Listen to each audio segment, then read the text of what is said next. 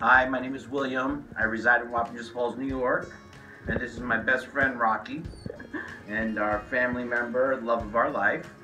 And uh, unfortunately, Rocky decided to take it upon himself and have a little toy, and digest a little toy, and had some blockage, and we almost lost our little friend.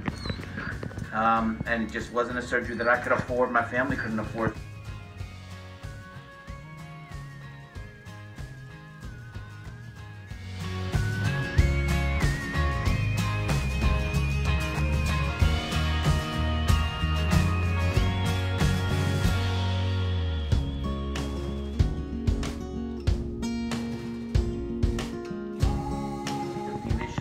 Thank God for the Dutchess County SPCA because if it wasn't for them, I don't think Rocky would be here right now. So thank you so much to the Dutchess County SPCA for saving our dog's life and we owe you guys a debt of gratitude.